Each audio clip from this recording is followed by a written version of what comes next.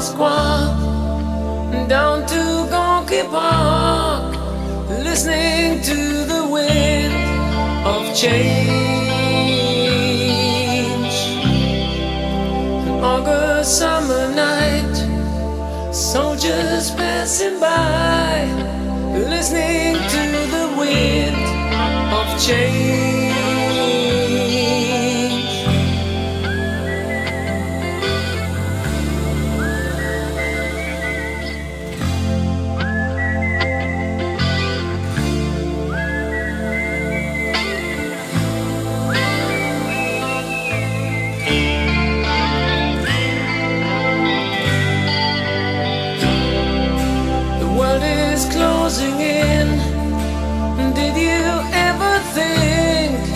that we could be so close, like brown.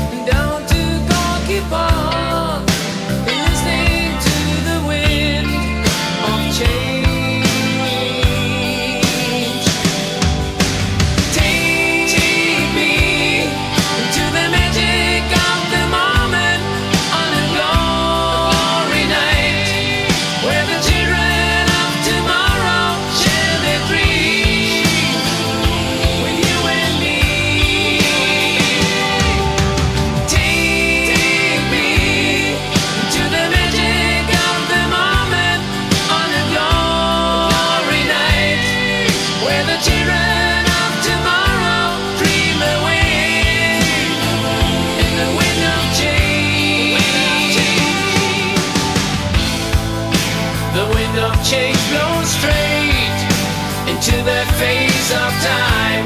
Like a storm wind that will